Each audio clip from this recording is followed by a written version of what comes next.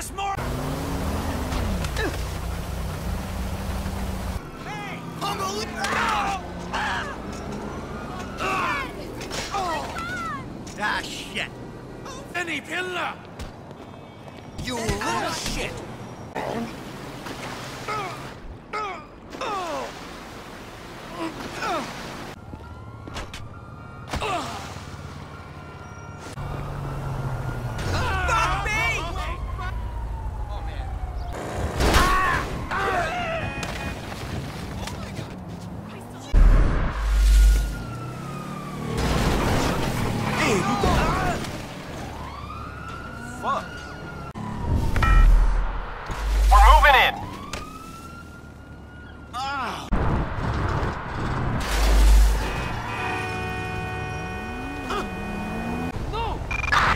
Citizens report at 415 on Tower Street.